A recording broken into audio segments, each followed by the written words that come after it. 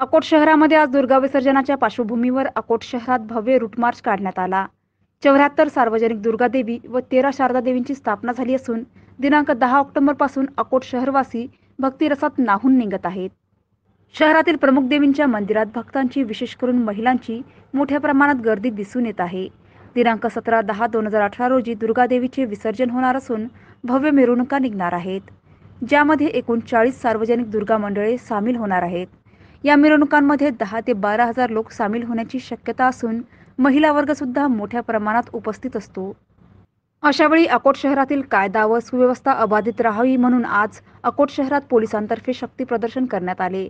विसर्जन मार्गाने भव्य रूट मार्च काढण्यात आला.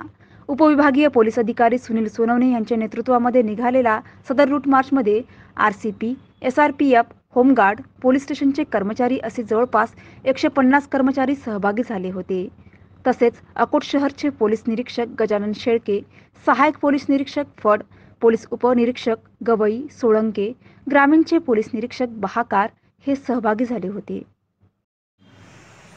अकोट शहरामध्ये येणाऱ्या सतरा तारखेला नवदुर्गा विसर्जन विसर्जन होणार आहे. जवळपास चाळीस मंडळं त्या विसर्जनामध्ये भाग घेणार आहेत.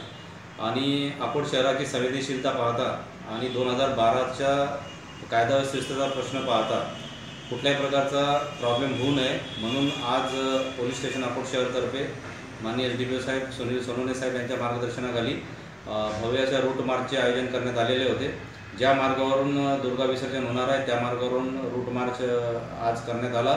त्यामध्ये पोलीस स्टेशनच्या कर्मचारी अधिकाऱ्यांशिवाय S R P F R C P home guard असे जवळपास दीडशे ते पावणे दोनशे कर्मचारी सहभागी झाले होते. आणि श- शहरवासियांमध्ये सुरक्षेची भावना निर्माण व्हावी म्हणून आज शक्ती प्रदर्शन करत असताना रूट मार्चचे आयोजन करण्यात आले. होते